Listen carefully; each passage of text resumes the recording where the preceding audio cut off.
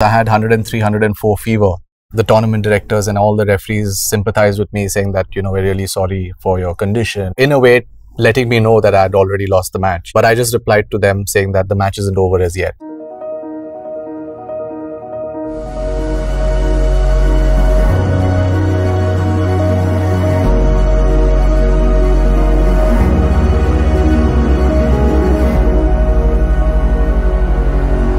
Hi, I'm Pankaj Advani and I want to talk to you about my long game. Let's go.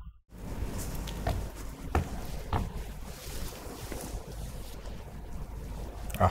They say that destiny is something that you can't control and you should just let it flow. You know, we were in the US on a holiday in uh, 1990 when we got the news that Iraq invaded Kuwait. We were all in shock because we didn't know what to do next. So somehow our uncle wired, you know, some money across to us and we shifted to India. When we came to Bangalore, dad just fell in love with the place and we ended up settling in Bangalore. Our house was just two minutes from the snooker club. And that's how I got introduced to the wonderful sport of billiards and snooker. Oh my 25th world title. You're expected to play at a particular level at a very high standard every single time you compete.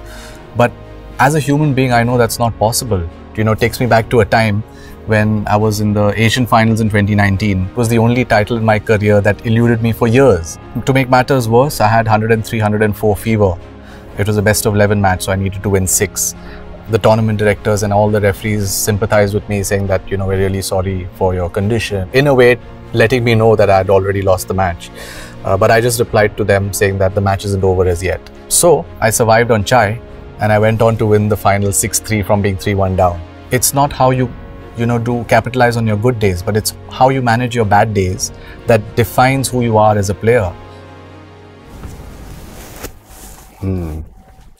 It's one of the toughest phases in my career. The broken cue is actually symbolic of what I was going through inside because I was broken. It takes me back to 2006 where I was about to give up the game. I had only the Asian Games left in Doha. So I decided that this was going to be my last tournament of my career because of the lack of support from concerned authorities. Just the fact that I was playing a very unconventional sport which people never really understood. My brother Shri had come down from Australia and did a few mental exercises with me on how to change my internal dialogue. And he said, since this is your very last tournament, just go all out and give it your best. Not only did I win the gold medal for India in billiards, but I also never looked back ever since. That very moment where I spoke to someone, and especially a person who is really close to me, my elder brother, uh, changed my perception of mental health. Uh, so, my lesson and takeaway from this is that never be too afraid to ask for professional advice, especially when it concerns your mental health and your mental well being. Wonder what's coming up next. Ah. If somebody had to ask me what my greatest achievement was in cue sports, I would emphatically tell them. For me, it's been able to excel in both billiards and snooker at the highest levels. In 2003, when I won my first world title, when I came back to India, I told my coach and most of the senior players that I want to now switch to billiards after winning the world title in snooker and actually excel. They all started laughing at me in a way, saying that no, it's impossible because normally players only specialize in either billiards or snooker because the techniques, the scoring patterns, the approach is entirely different. But I thought, let me do something that hasn't been done before, or rather just attempt to do it. And attempt to go out of your comfort zone will you really understand your true potential and, and realize how much you're capable of doing. If you try, you risk failure. If you don't try, you ensure failure. Huh. Bow tie. For years, we have been following the age old tradition of the formal dress code, which is the waistcoat, bow tie, long sleeve shirts, trousers. And while it looks classy on television and while we're playing the games, it's a bit too formal and uppity, according to me. In one of the championships in 2004, I'd lost the finals of the Asian. I was just going down the lift and one of the hotel residents ended up asking me to serve them a drink. I also realized then that our dress code has to be changed. Many people still feel that it's an elitist sport. I've always been of the firm opinion, and I stick by it, that we need to be more inclusive. So I would love to invite more people and include more people into the world of billiards and snooker, and that would mean advocating a strong change in the dress code, making it casual, and just lightening things up a bit. Wow, this is, uh, it says subtle aggression. When I play on the table and I get a good shot, I cannot go around, you know, showing who I am, I'm the best or I'm God's gift to mankind. No. Ours is not a out there sport where you, you know, pump fists or you use bad language on the field. When I say subtle aggression, what I actually mean is let your body language do the talking. Uh, there are opponents who have tried to throw me off. You sort of give it back to them in a very subtle way where you go and stand near them and take your own sweet time, in a way, giving it back to them through your body language that listen, I know what you're up to, and I'm also going to be equally aggressive, but I'm not going to be unsporting like you. There are many people who ask me, How can you be so calm? But beneath all that calm is the fire raging from within. That I want to go out there and win gold medal every single time. I want to go out there and perform for my country every single time. And I will do it with subtle aggression. What's next? Ooh, holiday time.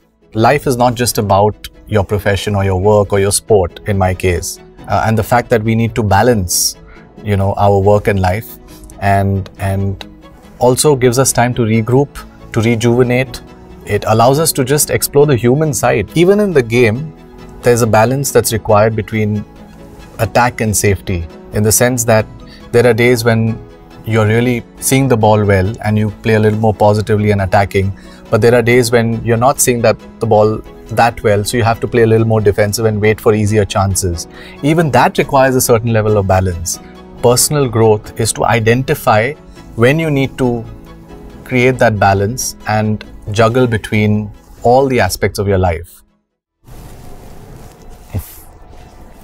I was just, what, 10 years old when I first picked up the cue uh, I was not taken seriously by, by the senior players. They used to say, "Ah, ye choto kya khelega yaar? Itna chota sa hai, you know. My coach refused me the first time I approached him. He said that, no, you're too short. I remember one of the headlines in the papers read in my first tournament, Tiny Tot Advani sails through to the quarterfinals. It got to me and I, and I said that, no, I'm going to prove to all of them that size and age doesn't matter. When somebody criticizes you and passes negative comments, turn that and channelize that into positive action. Use that anger to fuel you to achieve greater heights, and and let your performance do the talking rather than your mouth.